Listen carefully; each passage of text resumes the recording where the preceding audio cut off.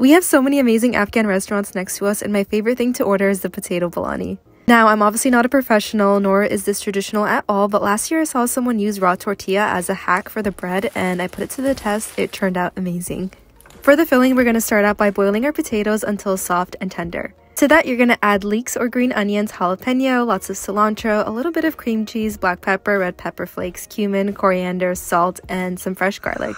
Mix that all together, and then for the hack, we have our raw tortillas. We're going to add it on one side. I like a lot of filling, so I added a lot. Fold it in half, press down, and just repeat with the rest. Then you're going to fry them up in a pan until beautifully golden and crispy, and that is basically it.